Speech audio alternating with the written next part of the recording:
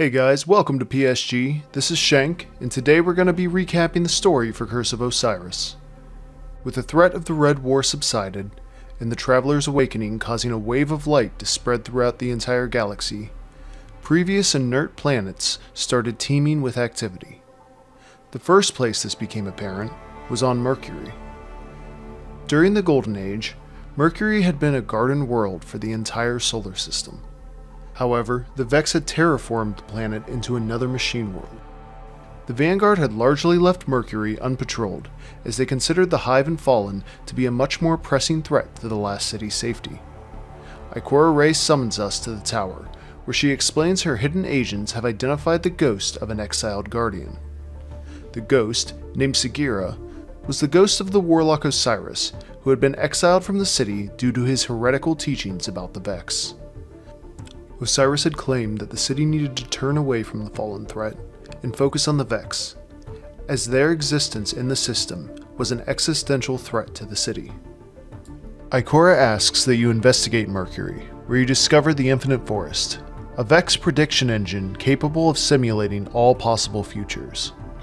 This machine allows the Vex to predict the correct actions to accomplish their goals creating a reality where the Vex integrate themselves into the laws of the universe. As our Guardian lands on Mercury, he finds himself encountering a large Vex force that's been deployed to protect the Infinite Forest. Our Guardian finds themselves unable to enter the gate to the Infinite Forest, so they are forced to seek out the Cult of Osiris, a sect of fanatics who worship Osiris despite Osiris viewing them as nothing more than a nuisance. We find a member of the cult Brother Vance, stationed at a lighthouse nearby the entrance to the Infinite Forest. Upon meeting Brother Vance, the Guardian learned that the cult had a device capable of reviving the ghost in the European Dead Zone. After landing on Earth, we find the base of the Cult of Osiris had been overrun by a gang of fallen. Fortunately, however, the device we needed to revive the ghost remained intact.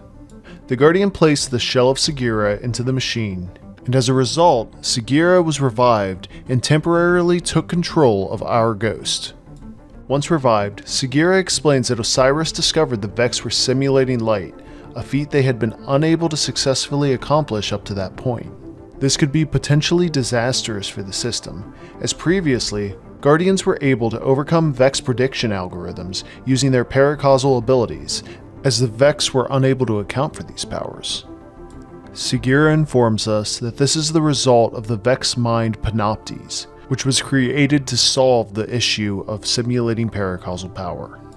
With Sagira's and Ikora's help, the Guardian successfully enters the Infinite Forest and views several virtual copies or echoes of Osiris that were used to explore the vastness of the Infinite Forest. One of these echoes leads us to a dark future in which the Vex have accomplished their goal in this future, the Guardian was attacked by Panoptes and saved only through the timely intervention of many of the echoes of Osiris. It became apparent that the only way to solve this crisis was to destroy Panoptes in order to break the Vex's control over the forest.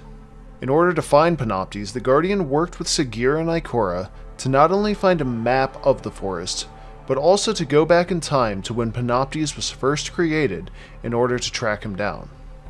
However, Sagira was captured while exploring the past.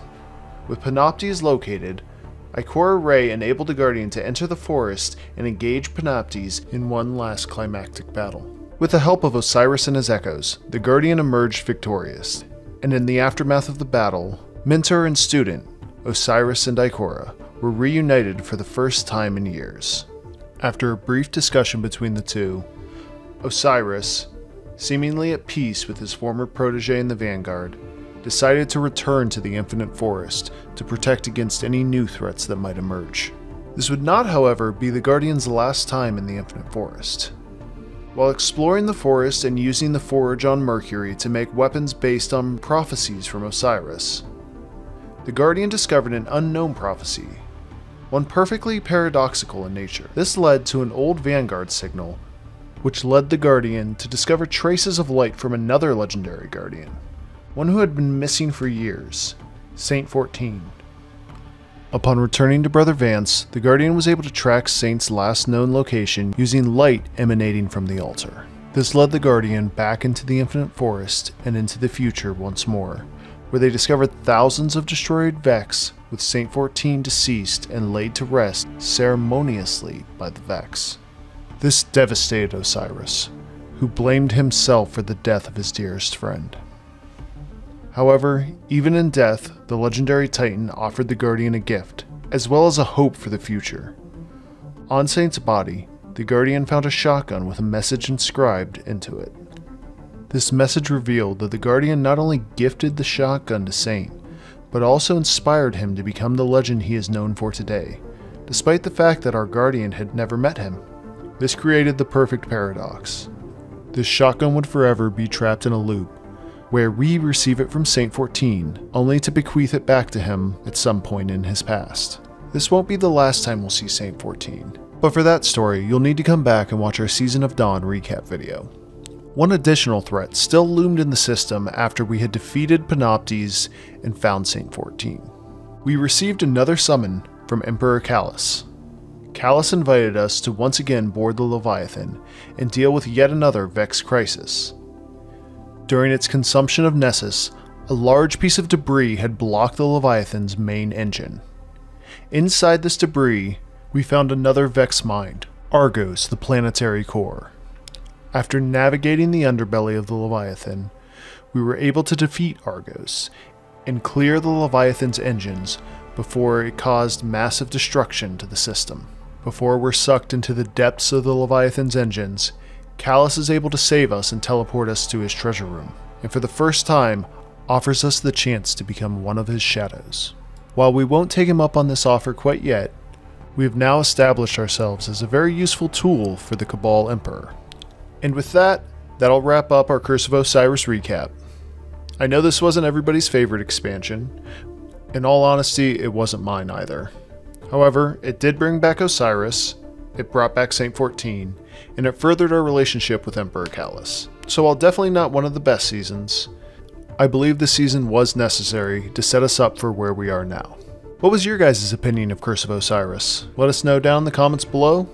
This was Shank. Stay tuned to PSG for all your latest gaming news, reviews, and discussions.